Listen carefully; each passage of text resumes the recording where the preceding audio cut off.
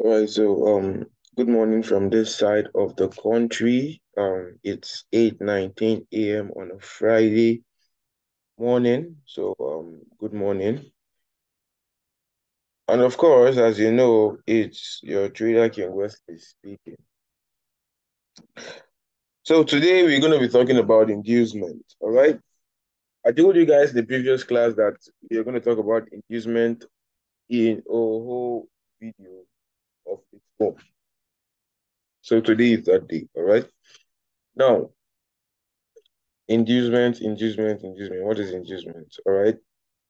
So now, um, inducement is um, you can say inducement is a is liquidity with a twist. All right. It's more like First of all, let us try to break down the word inducement. Now, when you hear inducement, when you're being induced, when something is being induced, when there's an inducement, all right, it's basically more like you are being lured or you are being deceived. Just for the purpose of clarification, let me let me let me let me let me search on my Google right now and read the meaning of inducement to you.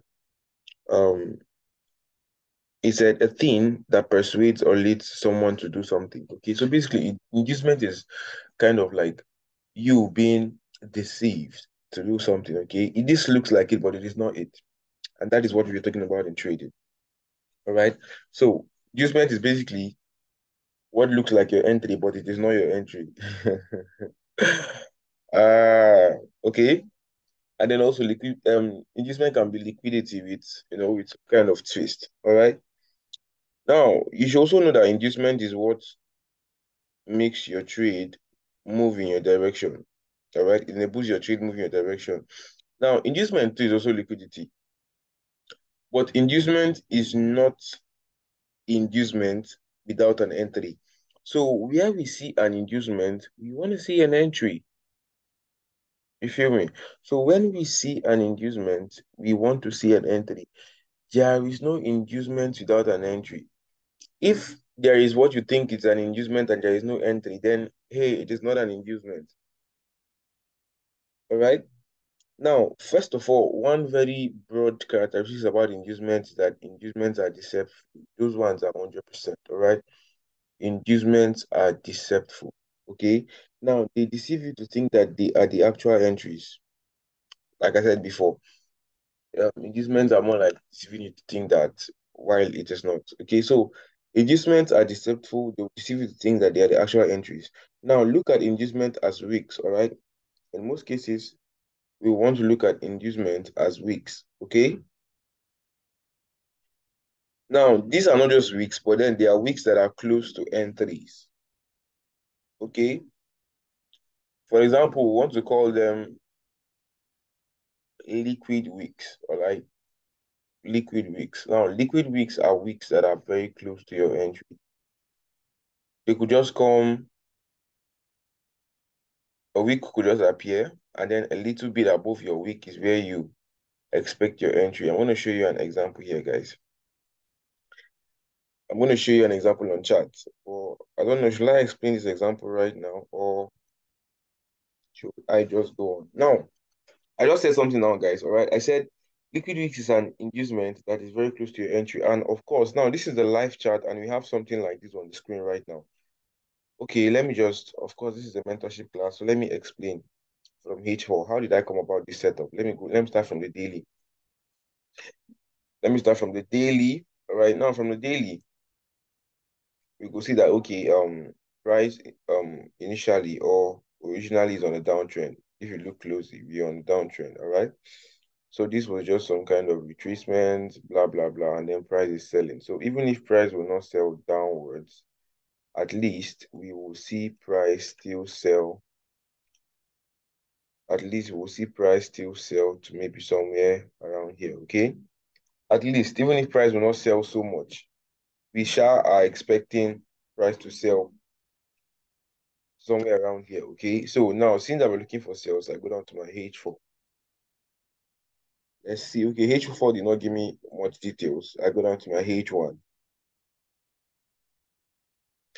Now on H1, what did I notice? We have buy side liquidity taking. All right, this wick that went above this high, buy side liquidity taking. this low got broken over here. So it means we are looking for shorts right now. All right. Let's go down to my M15. Let's look at the structure. Let's break down the structure. All right. So we have buy side liquidity taking over here. This is internal liquidity, guys. You see what I'm what I was talking to you guys about what about internal and external um, liquidity.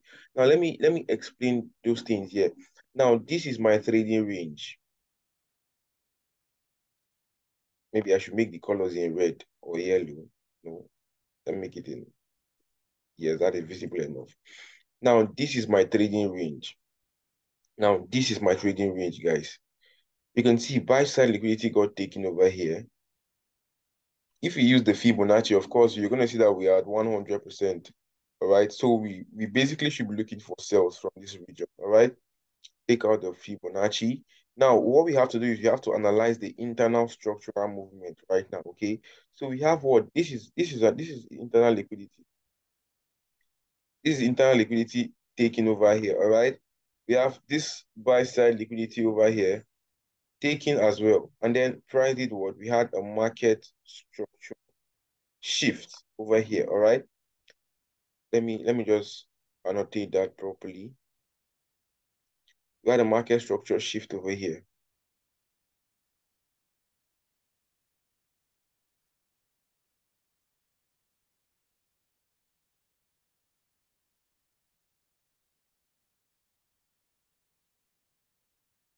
MSS, where is my MSS?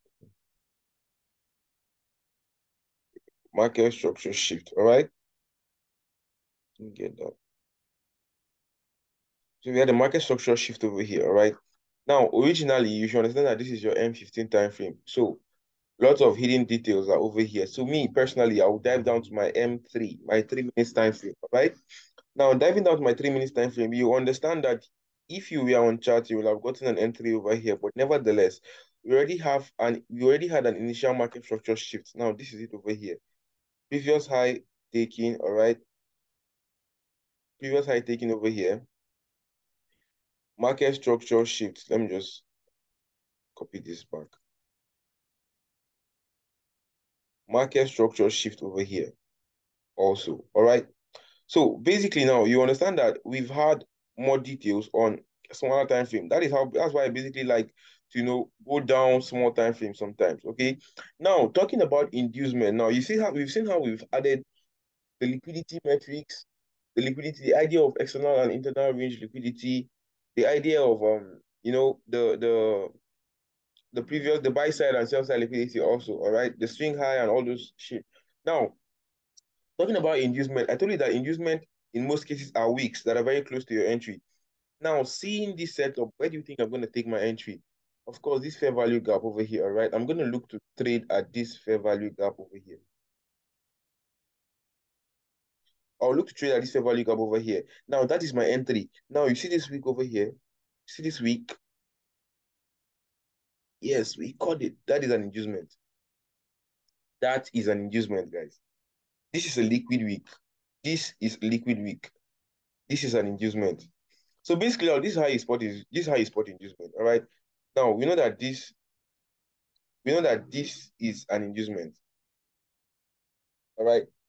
Now, how do I trade this inducement? Now, instead of putting my analysis, um, sorry, my entry on this fair value gap, I'll just put it on the inducement because price might tap into the inducement and miss my entry and leave me on the fair value gap. So I'll just, you know, put it on, on the on the inducement and then my stop loss above this high and I'm good and I'm going to wait for, to see what price is going to do. All right. Now, from this point now, price has still formed another liquidity over here. Price has formed another liquidity over here. But I don't care whatever price forms here. All I know is I'm going to take my entries from here. All right. So basically now this is an inducement. All right.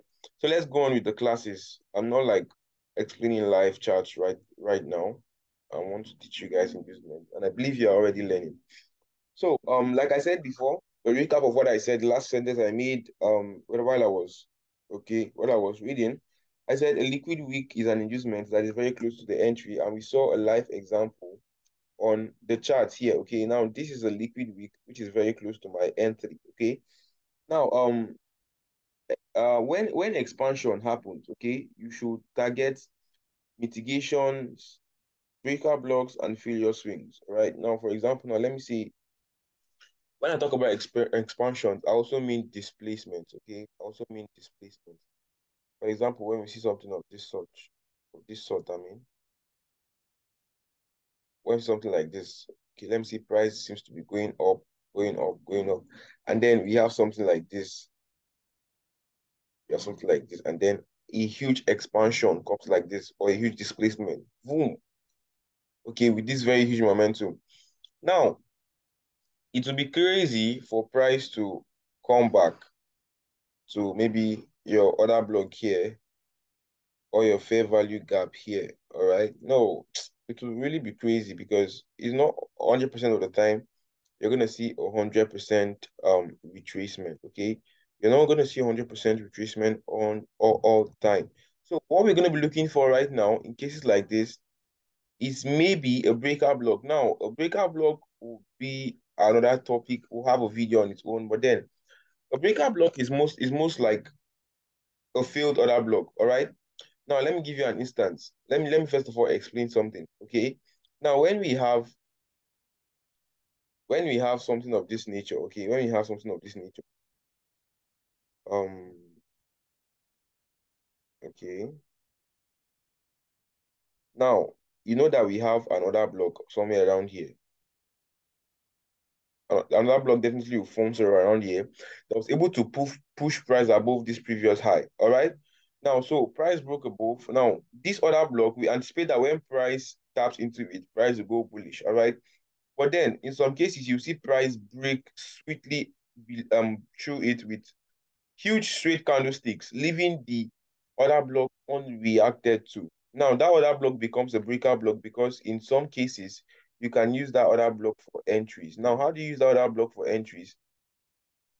You will notice that you often see price do something like this. Price will come back to that order block, which has which, which we now refer to as a breaker block, tap into it and then sell. All right. So basically now my explanation here is that when you see price give you huge expansions like this, do not expect price to come back up above here. Price might, but price would not immediately come back to it. So in most cases, you want to use your breaker block, all right? When price taps into it, and then you want to see price go down from your breaker block, all right? So that is basically what you do when you see huge expansions or huge displacement in price. Don't don't be don't be looking for sniper entry and say, yo, I want to wait for price to go back up there. Yes, price might actually go back up there.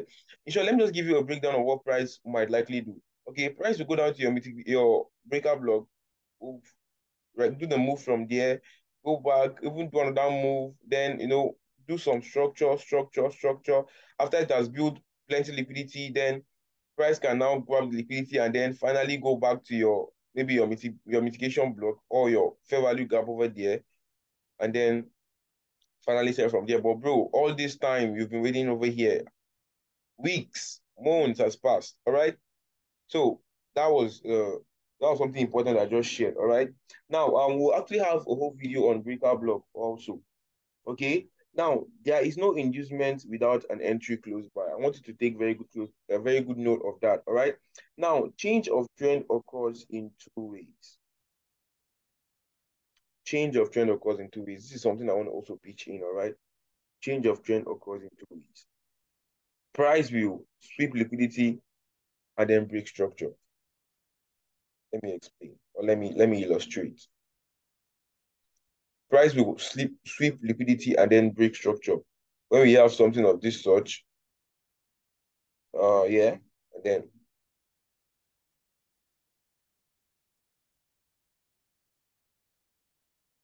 okay, so take a good look at this. We have sell side liquidity taking market, okay, sell side liquidity taking over here. Market structural break. Of course, you know, we have liquidity over here.